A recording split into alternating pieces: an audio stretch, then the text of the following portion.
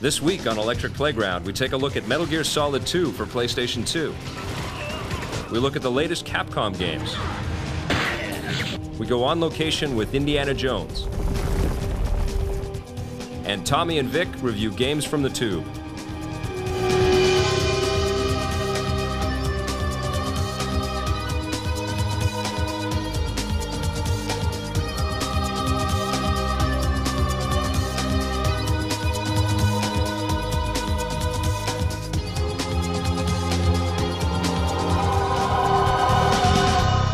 People think of Capcom, excuse me, they think of great fighting games.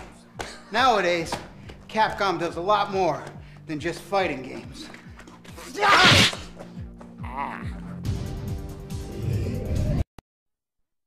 Game industry pretty much since its inception.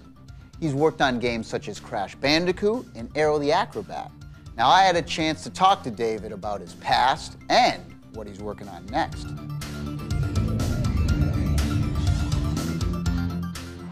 I'm here with a great friend of mine, Dave Siller, and we are talking about this man as a gaming legend, really. Now, you're probably, would you say, your most famous product that you helped create and design would be Crash Bandicoot. Absolutely. People out there may have heard of this game. That's right. Now, when you were creating it back then, did you ever think it was going to be as big as it was going to get? We really didn't know at the time that we were doing something that was going to be that smashing. I mean, we were really trying to do a 3D or fully polygonal game, but with very classic gameplay. Right. Something we- simple. Yeah, we wanted Nothing people. We wanted everyone to be able to play this game. You created a character and designed a character at Sunsoft, That's right.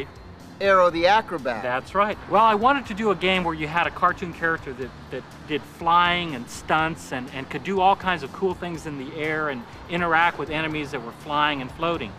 But my original inspiration was Mighty Mouse. Here I come to save the day! Any plans to bring Aero back into the 3D world? Absolutely. Really? Yes, I've been planning this for a long time, and I've just been waiting for the right set of hardware. Aero will come back, and probably uh, it'll be now called the A to Z Force. It'll have Aero and Zero and a host of new characters.